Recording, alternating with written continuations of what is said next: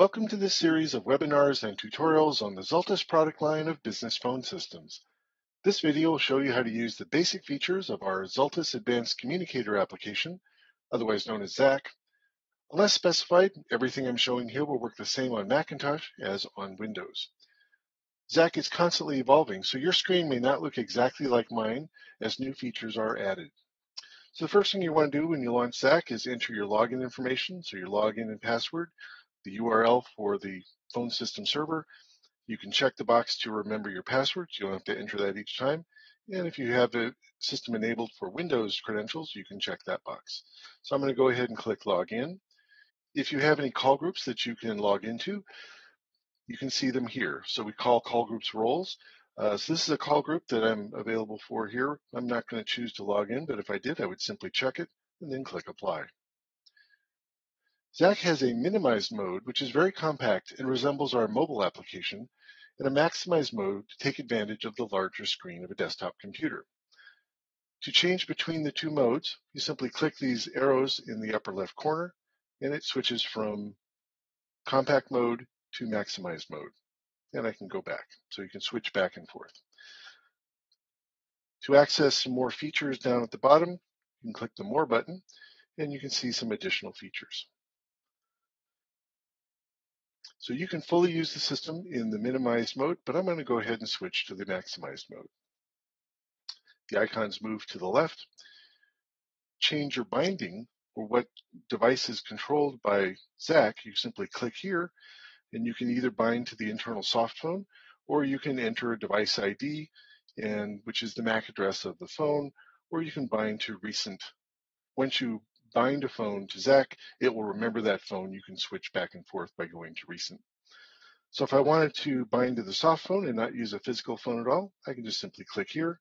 And now I'm using the soft phone, the built-in soft phone of ZAC. So in addition to being able to change the modes, when you click up here, you can set your presence. So you can set your presence here and you can type a note in here to give a message for other people around the company to know where you are and what you're doing. But you can go ahead and select this and then type a note here.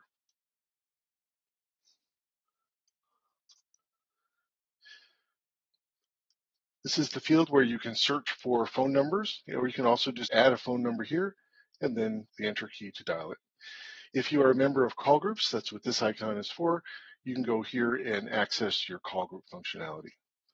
Some settings that you might want to get to in the ellipsis menu here so you can get to about, gives you the version information and settings, and this is where you log off when you're finished using ZAC. So a couple of settings that we might want to pay attention to early on. In addition to these settings that you might just want to experiment with, if you have Microsoft Outlook and you're on Windows, you can check these boxes. Outlook Contacts gives ZAC the ability to access your Outlook contacts, and Office Unified Communication gives Outlook and SharePoint Windows applications access to Zultys phone system features. This integration is currently only available for Windows users, but we plan on adding that for Macintosh users later. Then a screen dial is here and you can specify what control keys that you want to use for the screen dial feature. And then the audio devices, this is where you can set up microphones or speakers if you wanted to record your, your voicemails. So you can either use the system defaults or go here you have a microphone plugged in, and I'm going to use the uh, Plantronics uh, headset here. And now I'm able to record voicemails instead of using the phone, the physical phone, which you can still do, you'll be able to do that. And then in the soft phone feature, you may want to have some additional options. And again, here we can have the audio devices. So for received audio, you can use, you can specify your uh, headset uh, maybe you want to specify that for a ringtone for incoming calls or just leave it at the computer speaker. And the same thing for the microphone. So you can specify the settings here when you're using the built-in soft phone. You can go ahead and click apply. These other uh, call handling rules and voicemail notifications are described in other videos that we have here up, up here on our website. So I won't go into them now, but they work the same way as they do on MXIE. So I'm going to go ahead and just click apply and click OK. When you first open ZAC, it will go open to your buddy list. If you're an existing MXIE user, then buddies will show up that you've already set up in MXIE. To add new ones, uh, you can simply go to the contacts, and contacts now will, the MX directory will be all of the phone numbers that are on the phone system. To add one, you simply go ahead and click here. I'll click on D, and then to add, click in the yellow star, make that a solid star, and it will now add that to the buddy list. And I can do the same thing with, I'll do this with Anna as well. And if you notice here, I can do a few things. I can just click here, and I'm now making a phone call. Now we go back, we have our buddies here. So buddies in ZAC is going to be phone system buddies, and my contacts will be other contacts that you might want to add. Um, and to add another contact, you can simply click add a contact and enter the field information here for the, the record that you want. You can also do this from uh, the contacts icon. So if you have Outlook and you've turned on the uh, Outlook integration, then you click Outlook here, you have access to your Outlook contacts, and the same thing. You'll be able to uh, click on them, click on the star to add them. The recents, this is your call log. So calls and instant messages. So if you select all, you're going to see all of the calls and instant messages. If you just click on calls, it'll be your call log, and messages will be the instant message history. And for example, if I wanted to uh, do an instant message with D here, I can simply click here, type in the information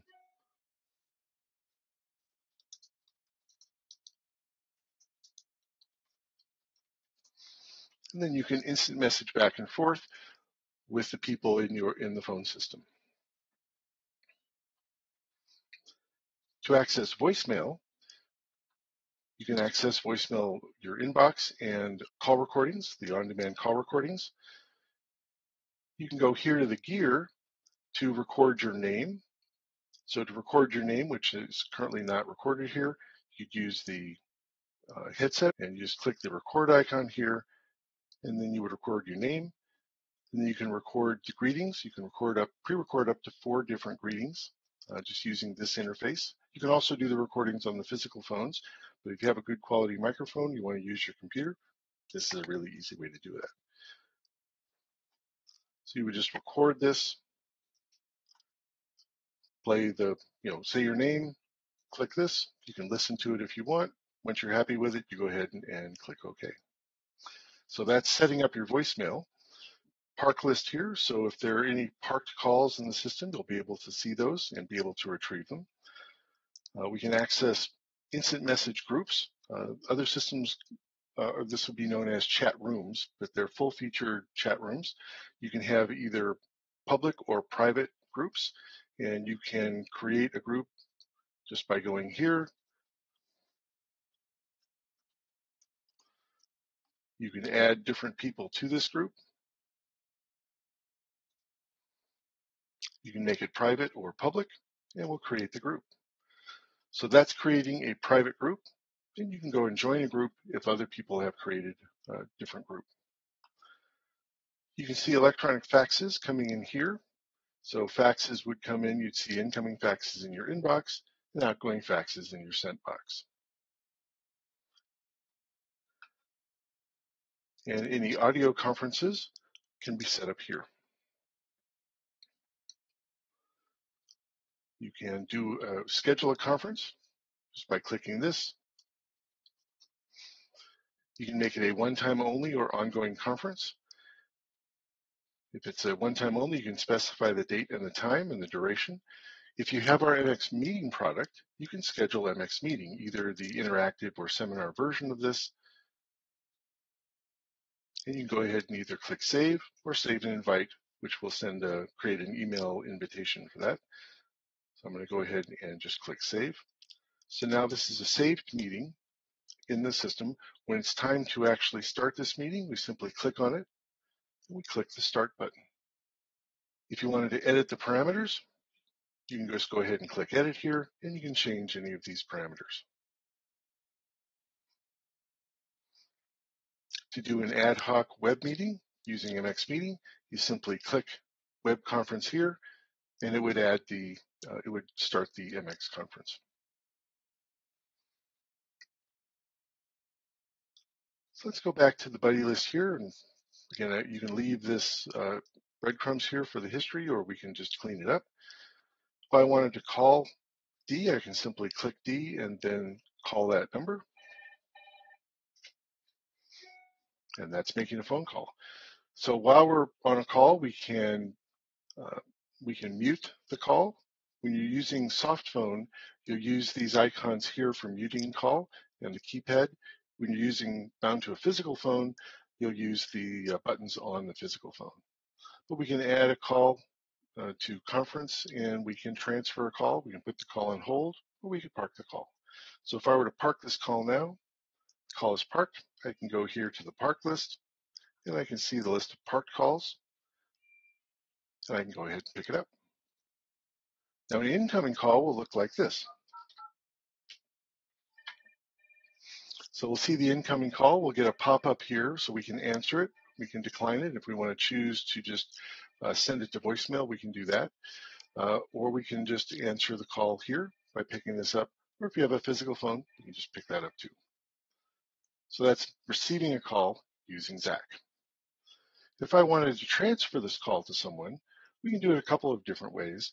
Uh, I can click the transfer button here, go down to the list and, and click here to transfer the call to Anna, or we can do drag and drop by just uh, taking this here, going back to if I have Anna in my buddy list, and then I can drag and drop onto here. You can see as you drop uh, mouse over this, you can just let go here and it will transfer. All right, so now if I wanted to call um, call Anna, so I can go ahead and click call here. So I'm now calling Anna. Anna answers the phone and say, hey, let me conference in D. Say I wanted to conference call somebody else in. I can go back to my buddy list here and let's call D. I can simply call D here. Now I could transfer the call. We have these call appearances up here. I could transfer the call by clicking on the ellipsis, and I could transfer the call to D. I could create a conference call, or I can do this with um, create a conference call, add D to the conference call, and here I've made a conference call. So you, you can, this is showing how to do both a supervised transfer and also an ad hoc audio conference call.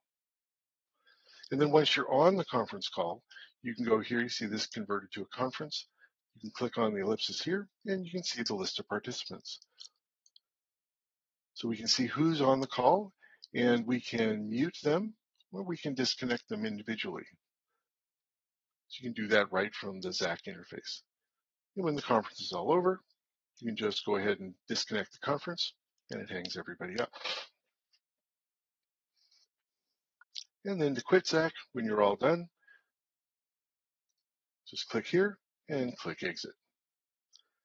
This completes the ZAC Quick Start tutorial. You should now be able to use the most common features of ZAC. Please see the other tutorials for additional features and capabilities of our system. Thank you for watching.